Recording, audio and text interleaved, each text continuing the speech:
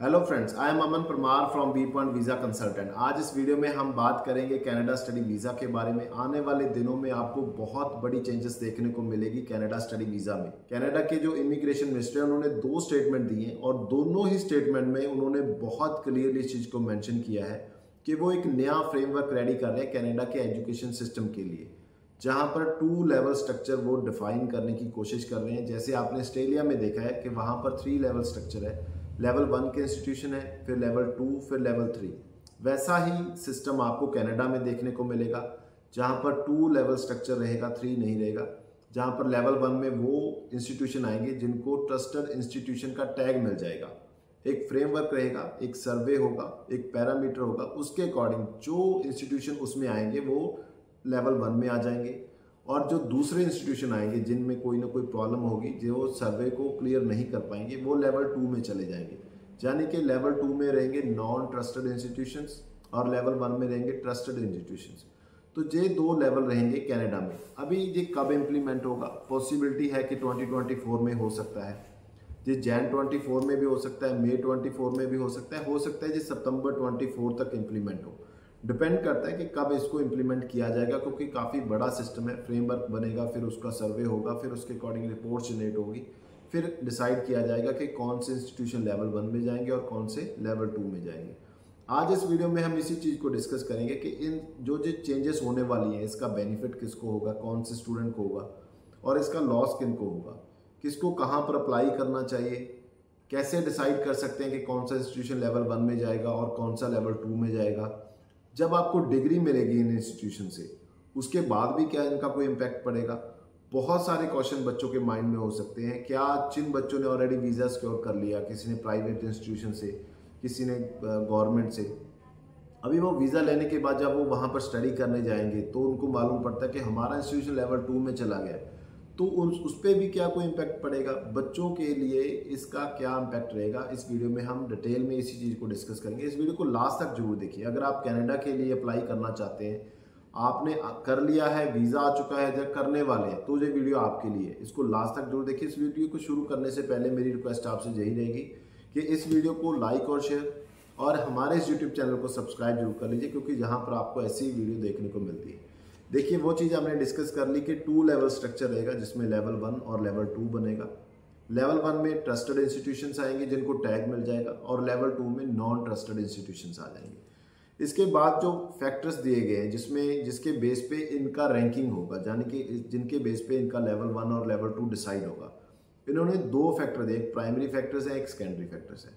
Primary factors में इन्होंने बहुत डिटेल बताया कि सबसे पहला जो फैक्टर रहेगा, जिसको वो चेक करेंगे कि कौन सा कॉलेज किस लेवल में जाना चाहिए, वो रहेगा उसके अनटेक के बारे में। सस्टेनेबल अनटेक जिनके पास होगा, यानी कि वो कॉलेज जो अपने अनटेक के अकॉर्डिंग जितनी सीट्स हैं, उतने ही ऑफ़र लेटर दे रहे हैं। जितने बच्चों को वीज़ा मिल रहा है, उन सभी बच्चों को सेम अनटेक के लिए वो एडमिशन दे रहे हैं, यानी कि इनरोल करवा रहे हैं। ऐसा नहीं कि जैसे हमने देखा था नॉर्दर्न कॉलेज ने अभी क्या किया, बहुत सारे बच्चों को ऑफ़र लेटर दे दिया। बच्चों ने अपनी फ़ाइल सबमिट कर दी आईआरसीसी को। आईआरसीसी ने उनको वीज़ा दे दिया। अभी इतने बच्चों को वीज़ा मिल गया जितनी उनके पास सीट नहीं थी। बच्चों ने टिकट ले लिया, बच्चे ट्रैवल ही नहीं कर पाए, उन्होंने सभी का ऑफ़र लेटर रिवोक कर दिया। हमने लास्ट कोविड के बाद जो ऑफ़र लेटर रिवोक का एक नया वर्ड सुना कि बहुत सारे बच्चों के ऑफ़र लेटर रिवोक हो रहे हैं।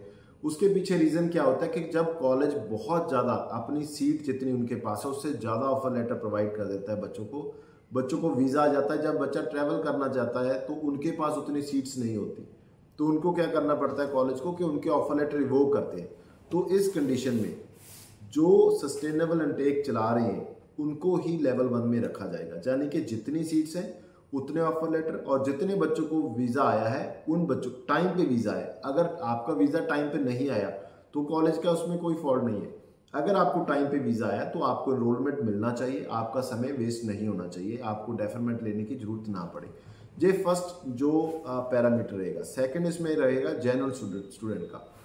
आइडेंटिफिकेशन ऑफ़ जेनुअन स्टूडेंट जे सेकंड उन्होंने जो पैरामीटर दिया है। इसमें दो चीज़ उन्होंने बहुत क्लियरली बताई है। सबसे पहले, जितने बच्चे आपके कॉलेज में आ रहे हैं, क्या वो आपके कॉलेज में स्टडी कर रहे हैं कि आने के बाद वो अपना कॉलेज या इंस्टीट्यूशन चेंज कर रहे हैं?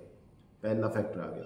अभी जितने बच्चे वहाँ पर आए हैं, जितने बच्चों ने वहाँ पर आकर स्टडी किया क्या वो उनका रिज़ल्ट क्या रहता है? वो एक दूसरा पैरामीटर आ गया। अभी जितने बच्चे स्विच कर रहे हैं, उसके पीछे रीजन क्या है? अगर तो रीजन उसके पीछे कोई ऐसा है कि जो नॉर्मल रीजन है तो उसको नहीं कंसिडर किया जाएगा। अगर सिर्फ़ इसलिए कर रहे हैं कि आपके पास पोस्ट स्टडी वर्क परमिट नहीं है, आपके पास जो फैसिलिटीज़ चाहिए बच्चे को, वो नहीं है। एजुकेशन का लेवल वैसा नहीं है स्टूडेंट टीचर रेशियो अच्छी नहीं है तो आपको लेवल टू में जाना पड़ेगा। जे सेकंड जो फैक्टर उन्होंने बताया, जो थर्ड है, उसमें रहा है कि एक्सपीरियंस फॉर इंटरनेशनल स्टूडेंट्स जो इंटरनेशनल स्टूडेंट आपके पास आए हैं, उनकी सेफ्टी उनकी वेलनेस के लिए आपके पास क्या क्या फैसिलिटीज़ हैं? ठीक है, उस सर्वे में ये भी रहेगा, जो स्टूडेंट है, उनसे उनसे उनका जो फीडबैक है, वो लिया जाएगा कि आपका स्टडी इस कॉलेज में हुआ है।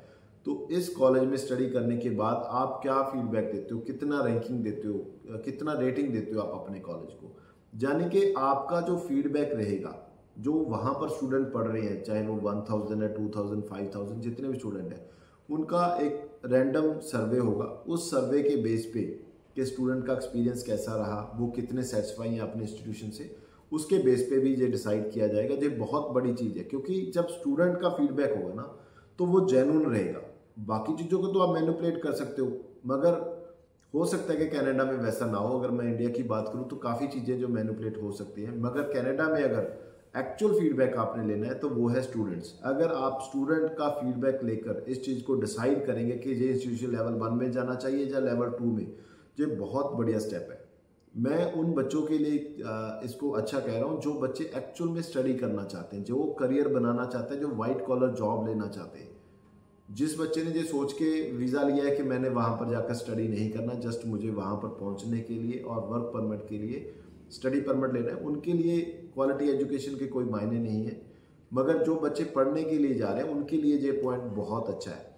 जो अदर फैक्टर है, उनकी हम बात करेंगे, ये प्राइमरी फैक्टर थे तीन। इसके बाद उन्होंने अदर फैक्टर भी बताए कि इसके इसके अलावा भी कोई फैक्टर्स रहेंगे।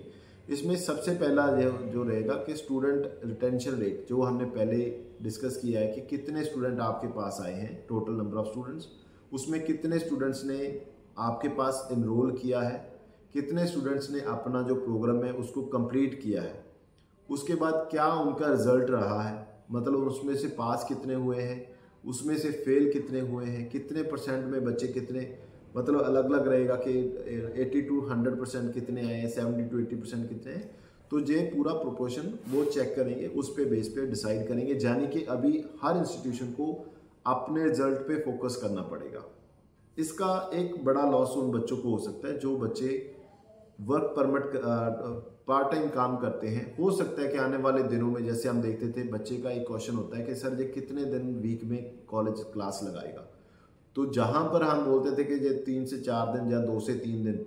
तो जितना कम होता था वो क्लासेस तो बच्चे का इंटरेस्ट था, वो इंटरेस्ट था, वो उसी कॉलेज में जाता था जहाँ पर क्लासेस कम थी वीकली अभी इससे क्या होगा कि इंस्टीट्यूशन को रिज़ल्ट अच्छा देने के लिए क्लासेस को इंक्रीज करना पड़ सकता है। स्टडी लोड है बच्चों पे, वो थोड़ा सा ज़्यादा हो सकता है। जो बच्चे अभी वीज़ा लेकर जा भी रहे उन पे भी ये फैक्ट मतलब जो इम्पैक्ट है, ये आ सकता है कि आने वाले समय में, क्योंकि अभी सर्वे स्टार्ट होगा तो जब ये बच्चे वहाँ पर ट्रैवल करेंगे जैन एन के लिए, फिर चाहे वो मे एन के लिए तो सभी इंस्टीट्यूशन चाहेंगे कि उनका कॉलेज लेवल वन में आए।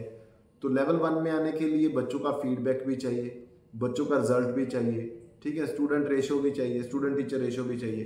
तो इस लिए हो सकता है कि आने वाले दिनों में जो क्लासेस हैं पर वीक वो इंक्रीज हो जाए। आप पे थोड़ा सा स्टडी का लोड है, वो बढ़ जाए। एक बेनिफिट भी है इसका, जिसको आप आप लॉस भी मान सकते हैं। जो डिपेंड करता है स्टूडेंट की क्या थिंकिंग है वो, क्या थिंकिंग लेकर वहाँ पर पहुँचा है। उसके बाद आ जाएगा कि कितने, उसने, जो कॉलेज है, उसने अपने स्टूडेंट से, जो इंटरनेशनल स्टूडेंट है, उससे कितना रेवेन्यू जनरेट किया। और स्टूडेंट की सर्विसेज़ के लिए उनको सर्विसेज़ देने के लिए उसने कितना उसको यूज़ किया। यानी कि आपकी अर्निंग कितनी है इंटरनेशनल स्टूडेंट से और उनकी सर्विसेज़ के लिए आप कितना स्पेंड कर रहे हो। यानी कि जो कॉलेज एक अच्छी अर्निंग कर रहा है, मगर सर्विसेज़ नहीं दे रहा अपने बच्चों को तो वो कॉलेज लेवल टू में जाएगा। अगर आप अच्छी अर्निंग भी कर रहे हो और उस अर्निंग के बेस पे एक प्रॉपर प्रपोर्शन आपने उनकी सर्विस के लिए, उनके क्वालिटी एजुकेशन के लिए, उनकी स्किल्स uh, के लिए यूज़ किया तो आप लेवल वन में जाएँगे अदरवाइज़ आप लेवल टू में जाएँगे। इसके बाद जो है कि अवेबिलिटी ऑफ़ मैनेज हाउसिंग देखिए ये बहुत बड़ा क्वेश्चन है। अभी जो हमने देखा था कि इंटरनेशनल स्टूडेंट पे कैप लगाया जा रहा है कि सिर्फ़ इतने नंबर में स्टूडेंट हम एक साल में वीज़ा देंगे। एक बहुत बड़ी स्टेटमेंट दी थी इमिग्रेशन मिनिस्टर ने मगर उसके बाद उस स्टेटमेंट के बाद जो टोटल हम बात करते हैं कि नंबर ऑफ़ स्टूडेंट को वीज़ा मिलता है हर साल, उससे डबल कर दिया नाइन लाख तक का उन्होंने एक टारगेट रखा है ट्वेंटी ट्वेंटी थ्री में। मगर पहले उनका स्टेटमेंट आया था कि हम कैप लगाने जा रहे हैं इंटरनेशनल स्टूडेंट पे, अगर नंबर ऑफ़ स्टूडेंट को हमने वीज़ा देना है चार लाख तो चार लाख ही देंगे, उससे ऊपर नहीं देंगे। तो उसके पीछे जो रीज़न दिया गया था वो हाउसिंग का था। तो हाउसिंग में अभी उन्होंने कॉलेज जो इंस्टीट्यूशन है, जिनके पास अपना हॉस्टल वगैरह है, जो प्रोवाइड करते हैं हाउसिंग या मैनेज कर कर देते हैं बच्चों को, उस पर भी एक पॉइंट रखा है कि जो इंस्टीट्यूशन इंटरनेशनल स्टूडेंट्स को इनवाइट कर रहे हैं किसी भी कंट्री से, क्या उनको हाउसिंग प्रोवाइड करवा रहे हैं या नहीं करवा रहे जितने ज़्यादा रेशो में आप हाउसिंग प्रोवाइड करेंगे, उतने चांसेस हैं कि आप लेवल वन में जाएँगे। जितने कम रेशो में करेंगे, उतने कम चांस है। मगर जो कॉलेज की तरफ़ से या इंस्टीट्यूशन की तरफ़ से हाउसिंग प्रोवाइड की जाती है, वो थोड़ा कॉस्टली होता है। तो इसीलिए जो मैक्सिमम बच्चे हैं, वो कॉलेज या यूनिवर्सिटी की तरफ़ से जो हाउसिंग होती है, उसको यूज़ नहीं करते। तो इसका बेनिफिट हो सकता है कि गवर्नमेंट को हो, मगर बच्चों को इसका कोई बहुत ज़्यादा बेनिफिट नहीं होगा। इसके बाद जो लास्ट उन्होंने पॉइंट रखा है, वो है स्टूडेंट टीचर रेशो ये बहुत अच्छा है, अगर आप क्वालिटी एजुकेशन की बात करते हैं, आप एक अच्छी एजुकेशन लेने के लिए उसके माइंड सेट से वहाँ पर पहुँचे हैं। तो जो इंस्टीट्यूशन के पास स्टूडेंट टीचर रेशियो अच्छा होगा, उसको लेवल वन में रखा जाएगा और जिसके पास नहीं होगा, उसको लेवल टू में रखा जाएगा। अभी ये सारा उन्होंने फ्रेमवर्क एक रफ फ्रेमवर्क जो मीडिया में दिया है, इसके बेस पे अभी इंस्टीट्यूशन भी अपना ट्राई कर रहे हैं कि अपने आप को मेंटेन करें इस लेवल पे। अभी सर्वे कब स्टार्ट होगा, उनकी रिपोर्ट कब तक आएँगी, कब इसको इम्प्लीमेंट किया जाएगा कौन से इसमें प्राइवेट और पब्लिक का, देखिए, बहुत बड़े एक क्वेश्चन थे कि प्राइवेट कॉलेज को किस रैंकिंग में रखा जाएगा पब्लिक को कहाँ पर। उन्होंने एक चीज़ क्लियर नहीं की कि ये प्राइवेट और पब्लिक के लिए अलग अलग होगा। इसमें चाहे आपका कॉलेज प्राइवेट है, चाहे पब्लिक है। उसका लेवल क्या है? जैसे ऑस्ट्रेलिया में है, कुछ प्राइवेट कॉलेज यूनिवर्सिटीज़ भी लेवल वन में आ जाते हैं, कुछ पब्लिक कॉलेज यूनिवर्सिटीज़ भी लेवल थ्री में चले जाते हैं, वैसा ही इसमें होगा। अगर कोई पब्लिक कॉलेज भी है और उसने ये सारी चीज़ें मेंटेन नहीं की तो हो सकता है कि वो भी लेवल टू में आ जाए। तो ये चीज़ माइंड से निकाल दीजिए कि प्राइवेट है या पब्लिक है।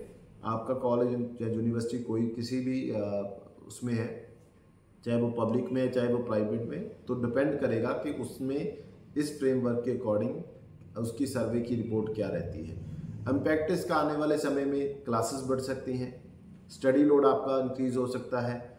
अगर आपने अप्लाई करना है और उस समय जो इम्प्लीमेंट हो जाता है तो ये डिपेंड करेगा कि आपने जिस कॉलेज से ऑफ़र लेटर मंगवाया है, वो लेवल वन में आया है या लेवल टू में आया है। लेवल वन का बेनिफिट क्या होगा?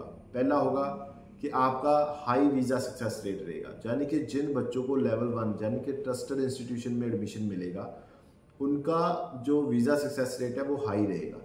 आपके रिफ्यूज़ल के चांसेस कम हो जाएँगे। सेकंड बेनिफिट क्या रहेगा? आपको क्वालिटी एजुकेशन मिलेगी। क्योंकि वहाँ पर स्टूडेंट टीचर रेशो भी अच्छी है।